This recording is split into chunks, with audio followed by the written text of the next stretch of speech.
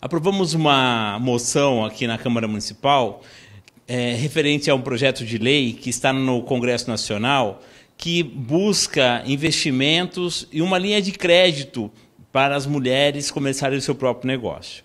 Isso é importante por quê? Porque nós temos milhares de mulheres que querem oportunidades de trabalho, só que ela não tem um investimento inicial. Aqui em Jundiaí a gente sente muita dificuldade quando a gente leva curso aos bairros para as mulheres empreendedoras e essas mulheres acabam o curso, só que elas não têm condição de começar a trabalhar por conta por falta de equipamento. Vários profissionais não têm condição financeira de começar a trabalhar por conta. Então nós queremos esse crédito, essa linha de financiamento para que ela possa trabalhar por conta e ter lucro e ter o seu trabalho aí é, tendo muito sucesso.